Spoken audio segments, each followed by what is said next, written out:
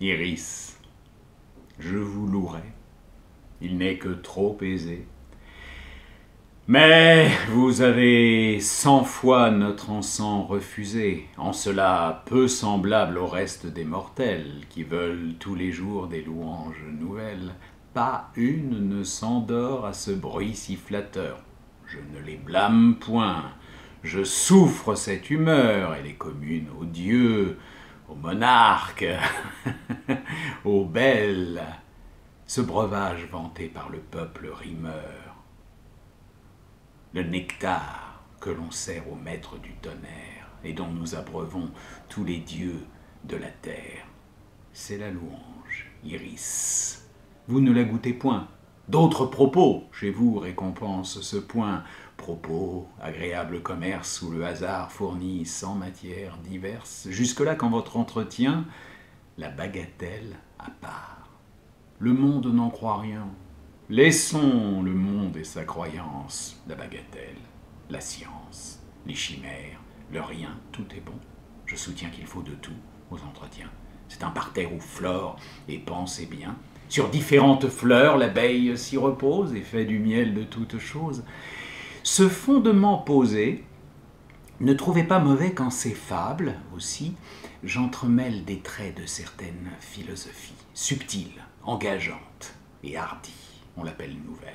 En avez-vous ou non oui parlé? Ils disent donc que la bête est une machine, qu'en elle, tout se fait sans choix et par ressort, nul sentiment, point d'âme.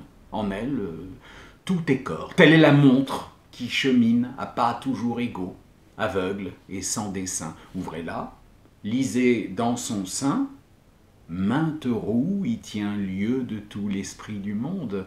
La première y meut la seconde, une troisième suit, elle sonne à la fin. Au dire de ces gens, la bête est toute telle. L'objet la frappe en un endroit, ce lieu frappé s'en va tout droit, selon nous, au voisin emporter la nouvelle, le sens de proche en proche aussitôt la reçoit, l'impression se fait. Mais comment se fait-elle? Selon eux, par nécessité, sans passion, sans volonté. L'animal se sent agité de mouvements que le vulgaire appelle tristesse, joie, plaisir, amour, douleur cruelle ou quelque autre de ces états, mais ce n'est point cela, ne vous y trompez pas. Qu'est-ce donc Une montre? Et nous? C'est autre chose. Voici de la façon que Descartes euh, l'expose. Descartes ce mortel dont on eût fait un dieu chez les païens et qui tient le milieu entre l'homme et l'esprit, comme entre l'huître et l'homme le tient tel de nos gens, franche bête de somme. Voici, dis-je, comment résonne cet auteur, sur tous les animaux, enfants du Créateur, j'ai le don de penser et je sais que je pense. Or, vous savez, Iris, de certaines sciences, que quand la bête penserait, la bête ne réfléchirait sur l'objet ni sur sa pensée. Descartes va plus loin et soutient qu'elle ne pense nullement. Vous n'êtes point embarrassé de le croire, ni moi. Cependant, quant au bois, le bruit des corps,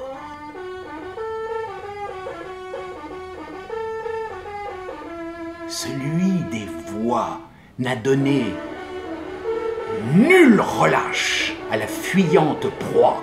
Qu'en vain elle a mis ses efforts à confondre et brouiller la voix, l'animal, chargé d'un vieux cerf et de dix corps, en suppose un plus jeune et l'oblige par force à présenter au chien une nouvelle amorce. Que de raisonnement pour conserver ses jours, le retour sur ses pas, les malices, les tours et sans stratagème, digne des plus grands chefs, digne d'un meilleur sort, on le déchire après sa mort ce sont tous ses honneurs suprêmes, quand la perdrix voit ses petits en danger.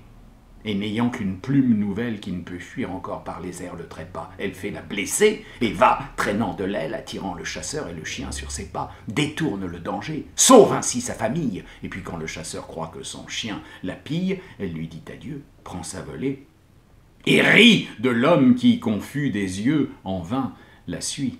Non loin du nord, il est un monde où l'on sait que les habitants vivent ainsi qu'au premier temps dans une ignorance euh, profonde. Je parle des humains, Car quant aux animaux, ils y construisent des travaux qui, des torrents grossis, arrêtent le ravage et font communiquer l'un et l'autre rivage. L'édifice résiste et dure en son entier. Après, un lit de bois est un lit de mortier. Chaque castor agit comme une en est la tâche, le vieux y fait marcher le jeune sans relâche, main maître d'œuvre à court, et tient haut le bâton. La République de Platon ne serait rien que l'apprenti de cette famille amphibie. Ils savent en hiver élever leur maison, passent les étangs sur des ponts, fruits de leur art, savant ouvrage, et nos pareils ont beau le voir, jusqu'à présent, tout leur savoir est de passer l'onde à la nage. Que ces castors ne soient qu'un corps vide d'esprit, jamais on ne pourra m'obliger à le croire. Mais voici beaucoup plus. Écoutez ce récit que je tiens d'un roi plein de gloire. Le défenseur du Nord vous sera mon garant. Je vais citer un roi aimé de la victoire. Son nom seul est un mur à l'Empire ottoman. C'est le roi polonais. Jamais un roi ne ment. Il dit donc que sur sa frontière, les animaux entre eux ont guerre de tout temps. Le sang qui se transmet des pères aux enfants en renouvelle la matière. Ces animaux, dit-il, sont germains du renard. Jamais la guerre avec tant d'art ne s'est faite parmi les hommes, non pas même au siècle où nous sommes.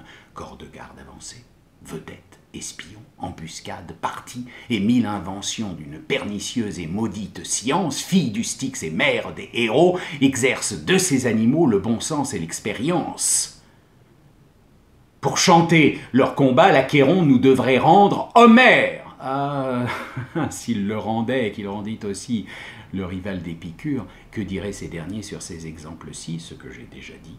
Qu'au bête, la nature peut, par les seuls ressorts, opérer tout ceci, que la mémoire est corporelle et que pour en venir aux exemples divers que j'ai mis à jour dans ces vers, l'animal n'a besoin que d'elle, l'objet, lorsqu'il revient, va dans son magasin chercher par le même chemin l'image auparavant tracée qui sur le même pas revient pareillement sans le secours de la pensée, causer un même événement, nous agissons tout autrement. La volonté nous détermine, non l'objet ni l'instinct.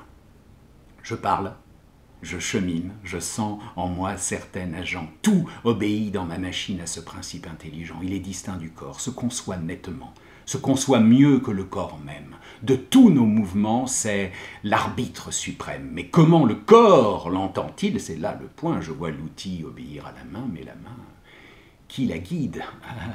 Qui guide les cieux et leur course rapide Quel ange est attaché peut-être à ce grand corps Un esprit vit en nous et meut tous nos ressorts. L'impression se fait le moyen. Je l'ignore, on ne l'apprend qu'au sein de la divinité. Et s'il faut en parler avec sincérité, Descartes l'ignorait encore. Nous et lui, là-dessus, nous sommes tous égaux. Ce que je sais, Iris, c'est quand ces animaux, dont je viens de citer l'exemple, cet esprit n'agit point. L'homme seul est son temple. Aussi faut-il donner à l'animal un point que la plante, après tout, n'a point. Cependant, la plante respire. Mais que répondra-t-on à ce que je vais dire?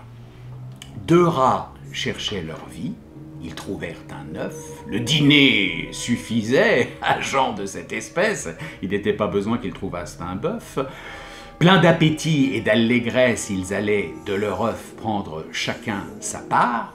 Quand un quidam parut, c'était Maître Renard, rencontre incommode et fâcheuse, car comment sauver l'œuf, le bien empaqueter, puis des pieds de devant ensemble le porter, ou le rouler, ou traîner, c'était chose incommode autant que hasardeuse, nécessité l'ingénieuse leur fournit d'invention, comme ils pouvaient gagner leur, habitation, les cornifleurs étant à demi-quart de lieue, l'un se mit sur le dos, prit l'œuf entre ses bras, puis, malgré quelques heures et quelques mauvais pas, l'autre le traîna par la queue.